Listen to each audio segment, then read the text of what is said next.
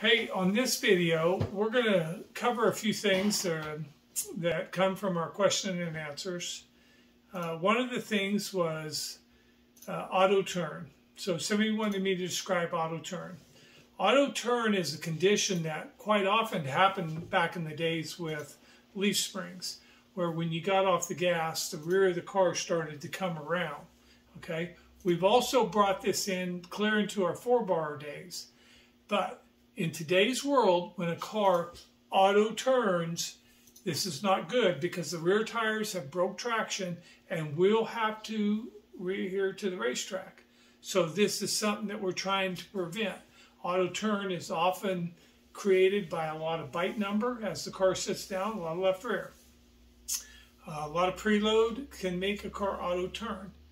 Uh, so this is not something we really want to happen. Uh, so try to work to get it out of your cars.